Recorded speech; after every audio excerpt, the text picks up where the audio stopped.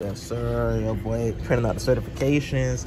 Yo, yeah, move that, move that slush, bro. Get the fuck back, bro. Get back. But my shit printing out now, though. Let's see what it look like. bro, this shit looks sexy, bro. Hold on. It's nice quality too, bro. Look how this shit look. That's where fucking hard work gets you. What's going on, y'all boys? I'm back at again another video, man. If y'all boys don't know, I'm Security Plus certified and I'm Network Plus certified, man. So I got both of those certifications, and it's still kind of crazy to think about it that I got both of those, but I got my Network Plus on Valentine's Day, February 14th. Instead of worrying about a shawty, I was worrying about these certifications. You know what I'm saying? Like, if you got a girl and you trying to get these, you gotta, I don't know what you got a girl for, but you gotta focus. You gotta lock in, bro. Like, hey, hey, cybersecurity is my shawty, bro. Like that's that's why I took out the Valentine's Day cybersecurity, but that's why I got the certification on Valentine's Day. But I felt my Network Plus the first time in January. I retook it on Valentine's Day. I caught that up, and then I got my Security Plus literally two weeks later on February 28th. And in my opinion, the Security Plus is easier than the Network Plus, but that's just my opinion. I know some people disagree, some people agree, but the Security Plus is really mainly scenario based, and the Network Plus is like remembering ports subnetting, shit like that. It's a bunch of numbers. You, it's like math. You know what I'm saying? And I don't have a problem with that. You know, I know my ports and shit now, but back then, studying for that, I feel like it was harder than Security Plus, and that's why I feel like Security Plus is easier. Um, and to be honest, better. You know what I'm saying? You know, your boy also got PCEP certified Python programmer, but let me go ahead and get back to it though. But look, no, I ain't gonna lie, I'm making a video about what the things I did and how I was able to accomplish getting my Network Plus and Security Plus within around a month. It took me about, I'll say, 40 days to get both of them combined, give or take, you know, so about a month. Um, if I'm being real, everybody says read a book, read a book, go study for hours on end. Like, that shit I feel like we in the 21st century. We is in 2025. If your number one way of studying is reading a book, I, I just found that old school. Like that's crazy. Like you know, like I'm 21 and I just find that old school. I don't know. I, I don't know. Maybe that's just me. But I feel like the best way to study for things like this is go on Udemy, right? Get some practice exams like Jason Dion or I got Jason Dion's in total seminar. I did one practice exam. I got about between a 60 and a 70%. I would study all the answers that I got wrong. It took me about an hour. I would copy and paste the answer, send it to ChatGPT, and then have him explain it to you. And then don't move on until you understand it. Once you understand it, go on to the next question, so forth and so forth. Go, go over the questions you got right too, because you want to know why you got them right. You don't want to go back to that same question and go like, uh, so I'm guessing it was this answer. You know what I'm saying? Like, make sure you know what you're doing. And then once you retake that same practice exam about an hour later after all your studying and reviewing, you should get about at least between an 85 and 100% in my opinion. Just rinse and repeat that same strategy over and over again. You're gonna get about six practice tests from Jason Dion, um, total seminar gave me about three, so in total you'll have nine practice exams. And if you keep doing those, and if you're if you're scoring consistently better on each and every one, I promise you you'll get right with the um the real exam. So y'all probably already doing this, but I also watch Professor Messer on Network Plus and Security Plus, and I'll watch those while I'm at work. It was really like background noise to me. For I didn't even finish the Security Plus video, but I will watch those. And I went on YouTube one day and I was like, and it popped up in my recommendations like, what's the fastest way to learn something new.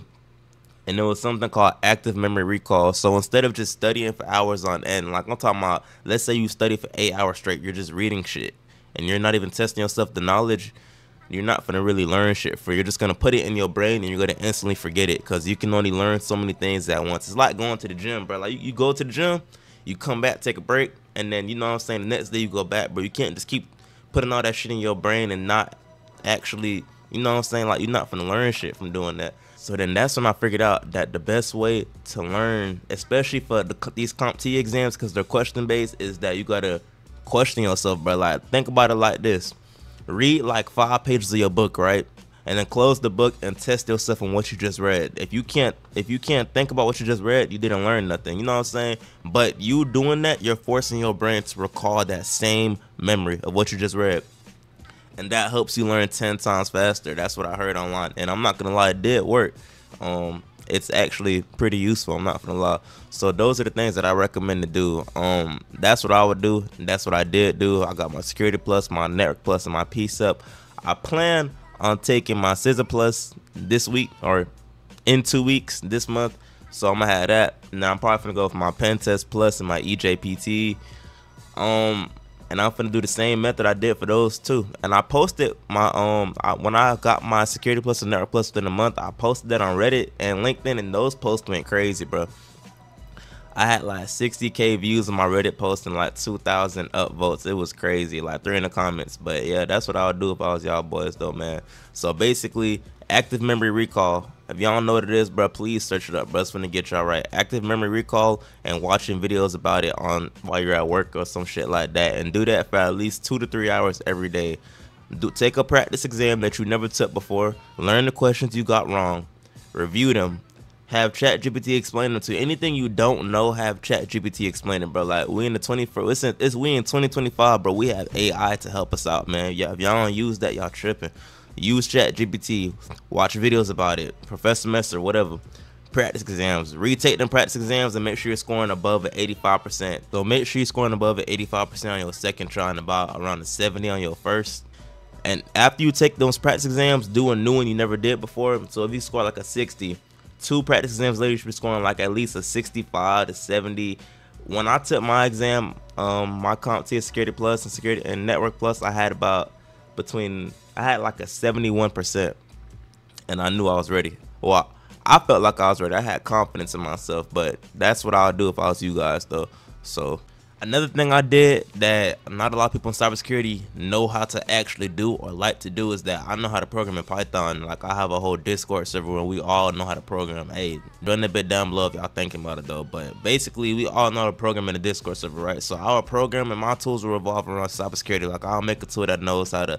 I'll make a DOS tool. I'll make IPS, a vulnerability scanner things of those natures. You know what I'm saying? So when I'm making those, I'm working with networking and security. So it's like I'm learning while programming, which is literally hands on. So that's another thing that helped me. You know what I'm saying? That's something that helped me to learn and prepare myself for the networking security plus because I program at least 15 to 20 hours a week. So if y'all know how to program, make some tools around cybersecurity, man, because uh, it's gonna help reinforce that knowledge. You know what I'm saying? Last but not least, y'all boys gotta get a whiteboard, man. Write up all y'all goals on this bit, and then just look back on it like every day. Every time you wake up from your bed, you're gonna wake up and see this before you even leave your room. You know what I'm saying? So my first attempt, 70%. Second attempt, 94. On my second practice exam, 61, 97. Well, I took this one first then I did this, then I did this, you know what I'm saying? So I got better each time. This one, you know what I'm saying? Kind of a, but you know, for the most part, you're getting better each time. And I did about, I did about five, six, seven practice exams. Don't be like me, do all of them. I didn't do all just because I'm, I, I scheduled my exams so close to when I was practicing that I didn't have enough time. But those are the things that I would do. Right here, I wrote the formulas for annual loss expectancy and single loss expectancy and annual rate of occurrence, things of that nature. Stuff like that helps out. And then you got over here, you know what I'm saying? I got all my certs, and I got the security plus, then I got network plus, got my PCEP, you know what I'm saying? You know what I'm saying? No man, hey, when y'all when y'all come back, y'all finna see that CySA plus right there. Know, you finna see that EJPT, you finna see the pen test plus, you finna see the PCAP. And y'all finna see, I I got I got something right here that um isn't there yet. But y'all gonna see next time though. Y'all boys stick around though. Hey man, I hope everything I say in this video helped y'all boys out though, man. Um, boys and girls, guys and gals, whatever. You feel me? I hope y'all do good on y'all exam. Let me know what y'all think down in the comment section below. If y'all got any questions, man, join the Discord. I'm gonna put a link down below in the description. Put in the comment section too. So feel free to join that, man. I'm literally always in there. But um, until next time, I'll see y'all boys later though. I'm holding myself to getting the CySA Plus within at least the next month. I'm gonna try to get it this month, but hey, we finna see. So I'm gonna see y'all boys later though. Peace.